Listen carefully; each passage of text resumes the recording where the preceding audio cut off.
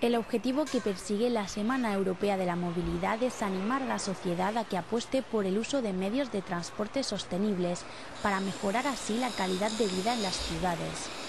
Este año la ADGT ha querido sumarse a esta iniciativa a través de una campaña de concienciación del uso de la bicicleta en áreas urbanas. La ADGT quiere eh, participar en esta semana con una campaña de promoción del de la bicicleta como medio seguro de transporte. ¿no? En los últimos años ha habido un aumento exponencial de lo que es el uso de la bicicleta, que ha pasado de tener un uso exclusivamente deportivo a convertirse también en un medio de transporte. Cada día más de dos millones de personas en nuestro país lo utilizan en este sentido. Y lo que se quiere hacer con la campaña es concienciar al resto de usuarios de la vía, principalmente a los automovilistas, de que las, las bicicletas forman parte del tráfico y que es una realidad a la que tenemos que adaptarnos.